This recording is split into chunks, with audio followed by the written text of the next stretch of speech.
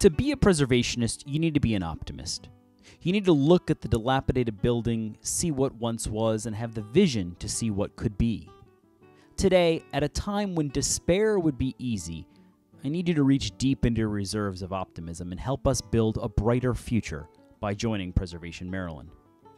It's no secret that nonprofits like Preservation Maryland are confronting profound challenges as a result of the global pandemic and its impact on our economy.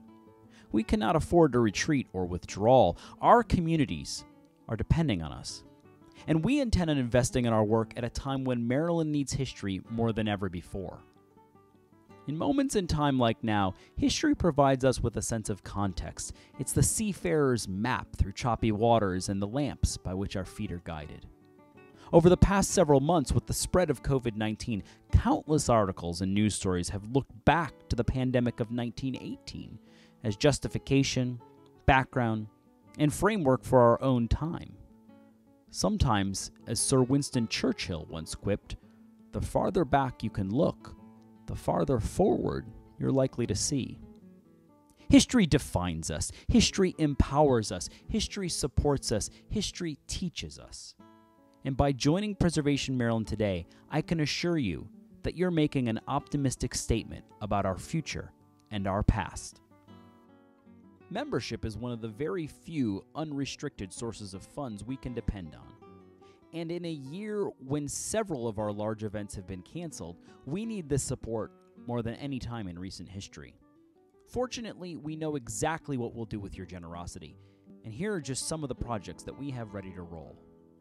A first in a generation historic property redevelopment project. Through our innovative property redevelopment program, we're purchasing a severely threatened historic cabin in Hagerstown's Jonathan Street community, and we're going to save it, rehabilitate it, and sell it to a deserving new owner. We're going to take the proceeds of that sale to save more historic places like it all across our state. We're not just talking about preservation, we're rolling up our sleeves and doing it. Workforce development when our nation needs it most. With unemployment at levels not seen since the Great Depression, we need to put this country back to work. Through our partnership with the National Park Service's Historic Preservation Training Center, we're gearing up to put even more veterans and young adults into historic trades training and to create a pipeline for new careers. Just as the Civilian Conservation Corps put Americans back to work in the parks in the 1930s, we can do our bit by putting America back on the path to recovery. And your support will make it happen. Grants in the hands of deserving organizations. Membership dollars fuel our grant programs. From Baltimore City to statewide efforts, last year we provided nearly $200,000 in grants, and we're on track to put thousands more out the door in the coming months. Our nonprofit partners are struggling, and this will provide immediate assistance to important projects from the hillsides of western Maryland to the brackish waters of the eastern shore. Mission critical advocacy.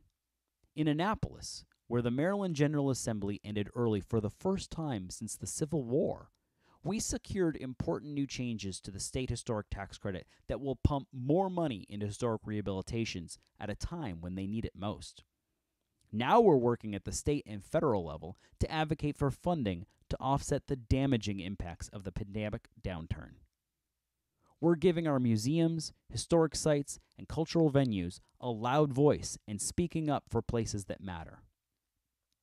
Smart Growth Maryland.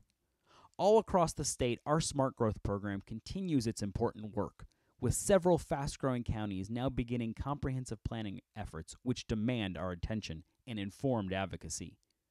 From improving local forest conservation acts to increasing funding for farmland preservation to supporting the establishment of Brunswick's Conservation District, smart growth planning and decision making is critical at this moment when Maryland's local governments are stretched for dollars and should be planning to spend their money as wisely as possible. Six to Fix and beyond. From the Underground Railroad to an actual railroad building, our Six to Fix projects are as diverse as the state itself. Your support puts us on the ground providing assistance, grants, and building the capacity of our movement. In just the past three months, our commitment to this work has resulted in nearly $500,000 in real funding for current and former Six to Fix projects. With your support, we'll do even more in the months ahead. In 1942, President Franklin Delano Roosevelt told his fellow citizens, The task that we Americans now face will test us to the uttermost. Never before have we had so little time in which to do so much.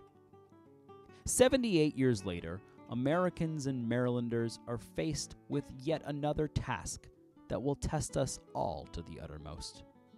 As so many who have come before us have been told, we too have a rendezvous with destiny, and we too will make history. Just as Americans of all stripes did their bit in generations before, we here at Preservation Maryland intend on doing ours and helping contribute to the recovery which lies ahead. Preservation builds strong communities. Preservation sustains prosperous economies. Preservation creates a link to history, history which sustains our faith and optimism. Today, I need your help and hope you'll join as a member in support of all the projects and programs I've outlined, and because as a preservationist, you share my optimism.